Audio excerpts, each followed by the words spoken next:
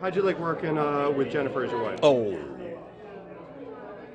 I'm a lucky guy. Look, we got I get to kiss a, the pretty girl.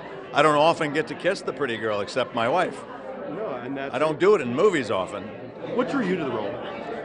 Uh, I just Bryan asked me to do the film. That was kind of it. I mean, what more do you need?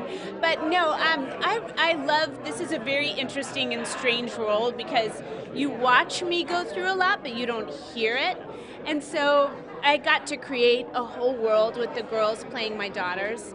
Um, and, and we had to have a very full, whole life going on without um, the benefit of the camera being there and without the hindrance of the camera being right in the room with us. And so it was just a great acting exercise. I just really had a great time.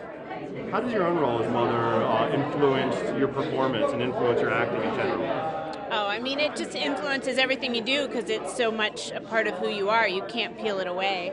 But um, how did it influence my performance? I don't know. My kids are, are younger than these girls, and um, but I still had a really maternal feel for both of them. They're fantastic.